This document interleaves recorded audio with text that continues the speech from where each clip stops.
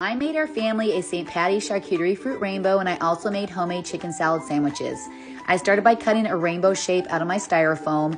Then I put a hook into it because I'm gonna hang it from the ceiling. I wrapped it in tin foil and I chose all of the colors of the rainbow with my fruit. I put a toothpick in each one of them and started to put it together. I ended up doing both sides. Once that was done, I hung it from the ceiling and used giant marshmallows for my clouds and filled the bowl with chocolate coins. It turned out absolutely adorable.